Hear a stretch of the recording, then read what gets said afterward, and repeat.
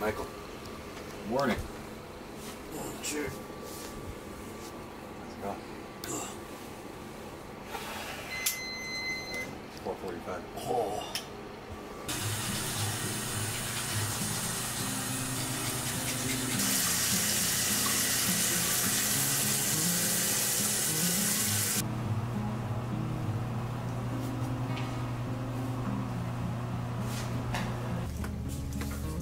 My name is Michael Reyes.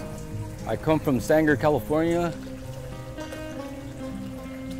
I find myself here at uh, the Poverello House because I do have an addiction and I'm here to get it right. Poverello House is a good place to be, you know. They got all the tools that a person needs to uh,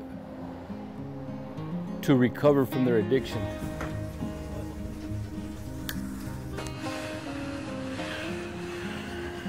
I gotta basically redeem myself and come back strong, you know, for my family and let them know that it's, it's not just an act I'm putting on. There's a lot of people here that are positive people that have a positive impact on me. You're surrounded by people with, with different problems, different, different, different faces, different places, people from all different backgrounds coming together under one, under one roof. It's a humbling process. It's a learning process. When you're lost in addiction, you know, you're, you're, you're basically, you're, you're lost out there. You're just chasing the dragon. Logical, I wasn't thinking, I wasn't, I was being selfish with all my thoughts. Everything I did was being selfish. And after now, you know, I came, I regret everything that, that I, that I've done. My, the way I acted, my actions and stuff like that, I regret it. You know, with all my heart, I regret it.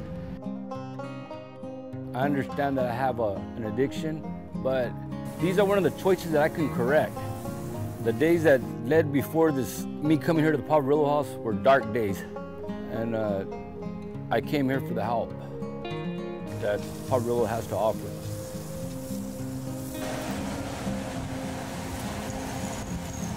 My favorite part about being here so far is knowing that there's light at the end of the tunnel. I feel very fortunate.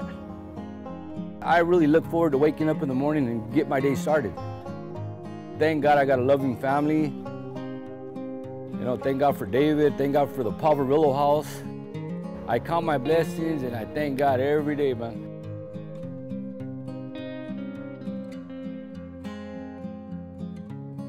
I committed myself here, you know, and when you commit yourself to somewhere or to someone, you know, you got to go all out. You know, you got to go above and beyond the call of duty. You know what I'm saying?